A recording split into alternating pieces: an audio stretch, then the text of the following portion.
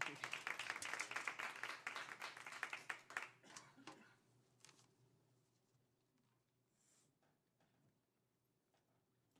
I really am so excited to be here. Nestor and I know each other from Chicago, where I have been living mostly for the last 21 years, although I am a New Yorker born and bred.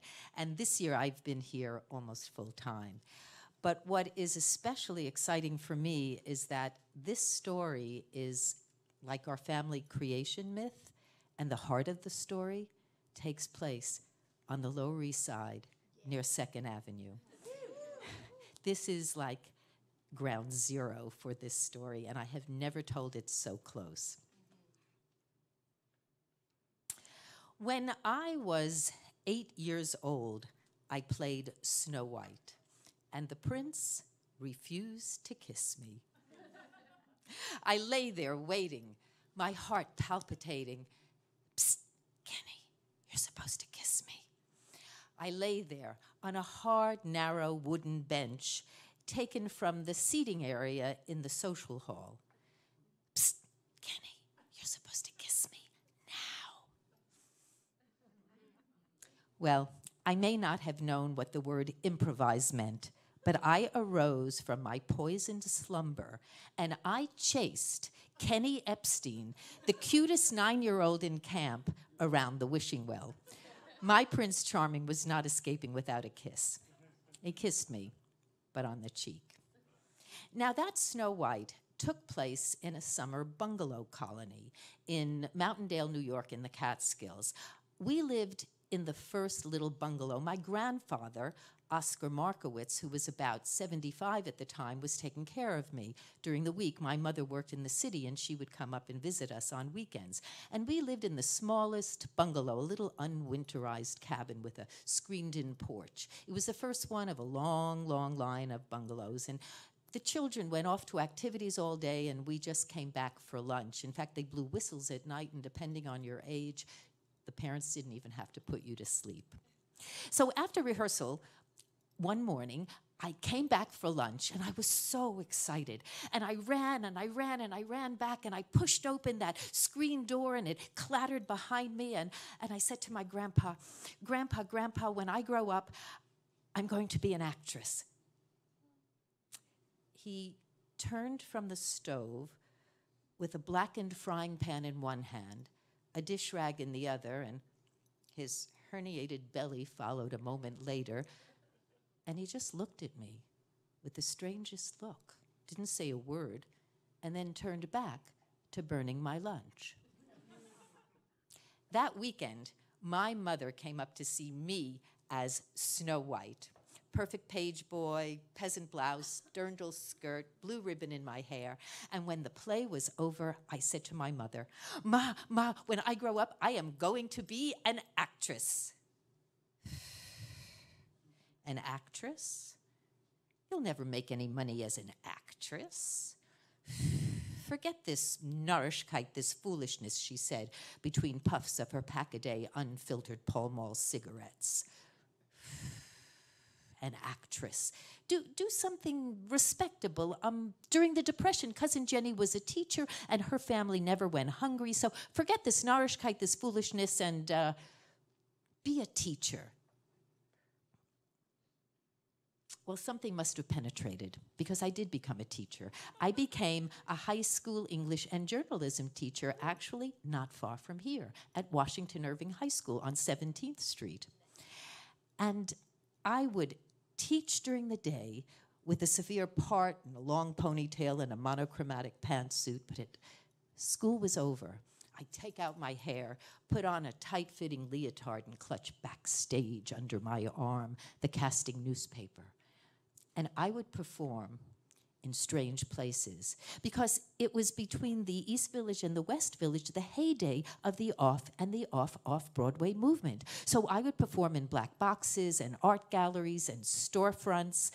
And one day, when I was not far from here, going down into the sub sub basement of Ruth Maleczech's avant garde theater, I just stopped and I said, Why am I doing this? This is so hard. what's grabbing me around the neck like a dybbuk or something, a demon, and not letting me go? I have no role models. Nobody in my family's an actor. Why am I doing this? This is so difficult. Why am I hitting my head against the wall? And then my foot froze.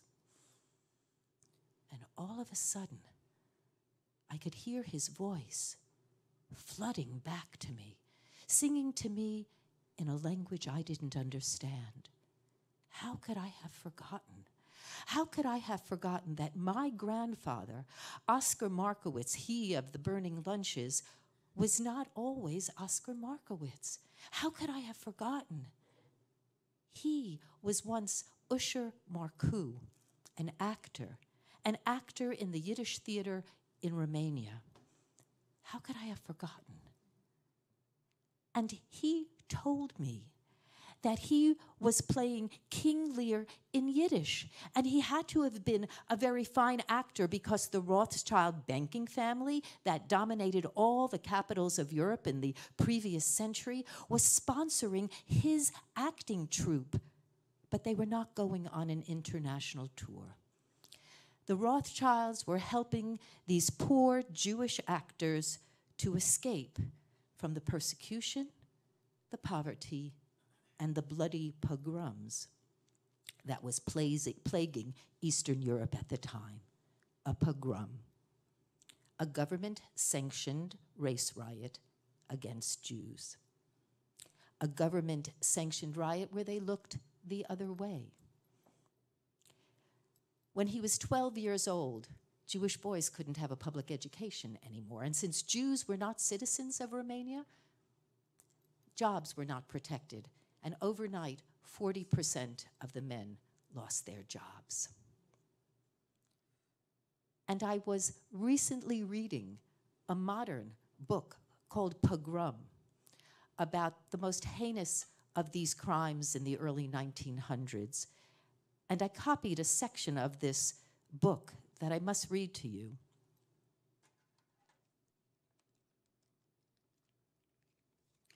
And when these words jumped out at me, I said, We have not come very far in a hundred years. A human being for whom there exists no obligation to treat with justice possessed no true rights.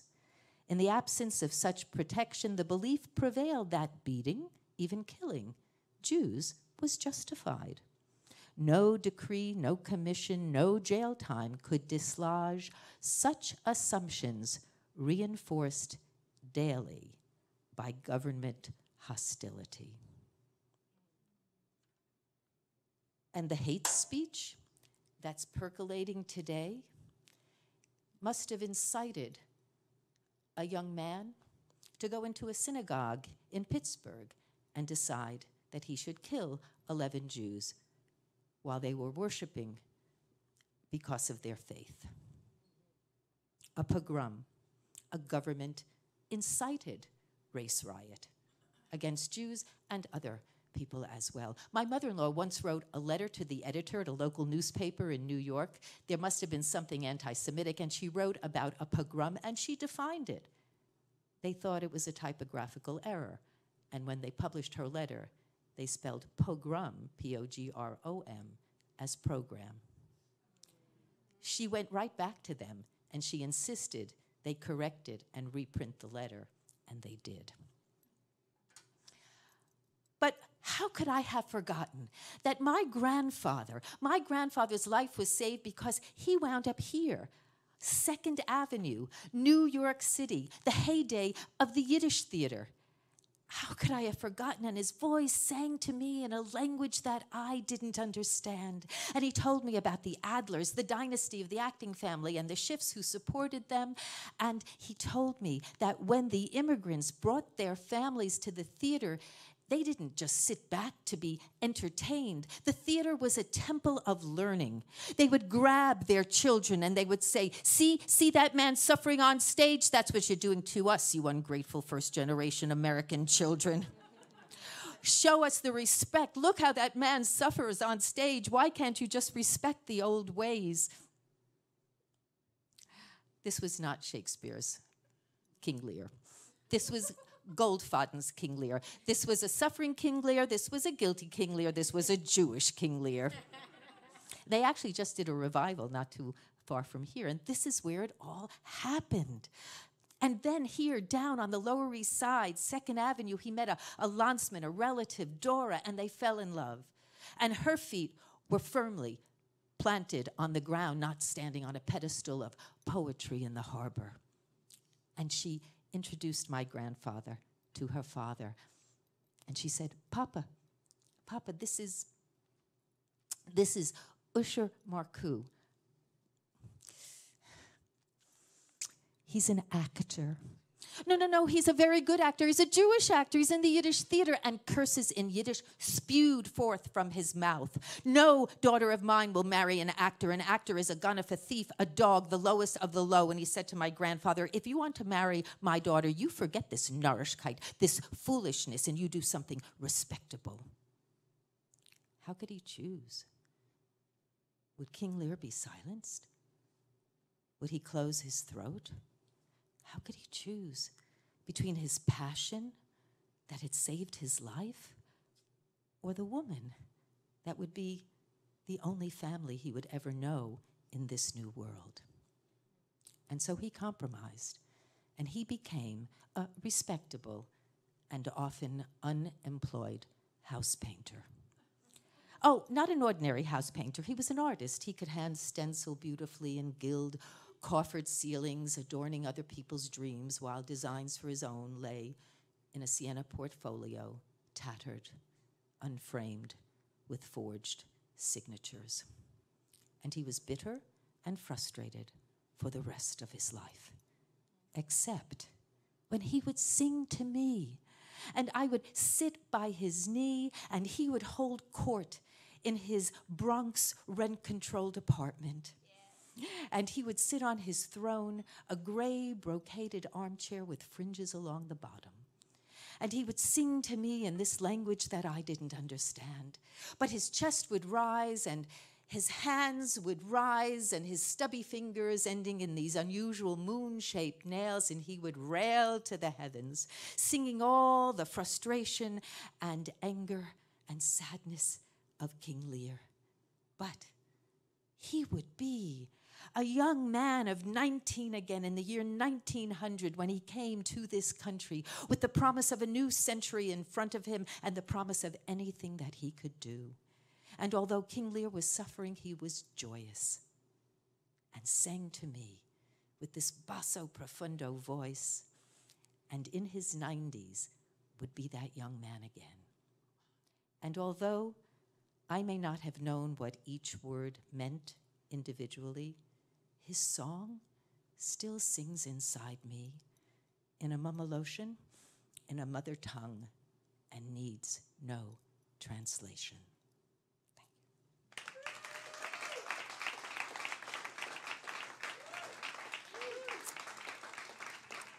Here's a picture of him at 19. I have a feeling this, these clothes were borrowed because he couldn't have afforded anything looking as good. And just in case you doubt the fact that there might have been a Jewish King Lear on the Lower East Side, this is the cover sheet to the libretto, and it was published in 1899 at 632 Broadway. Thank you.